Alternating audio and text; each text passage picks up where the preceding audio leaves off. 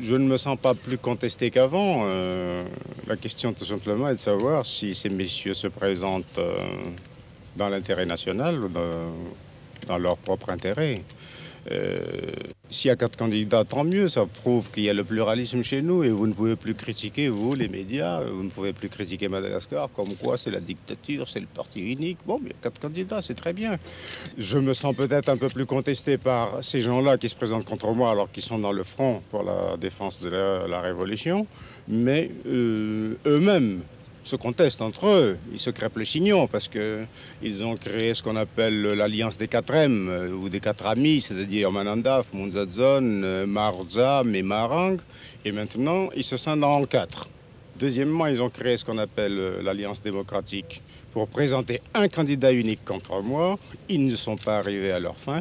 Veut dire que je pense que ce n'est pas tout à fait dans l'intérêt national, mais dans l'intérêt de chaque parti ou même l'intérêt de chaque individu qu'ils ont formé cette euh, simili-alliance.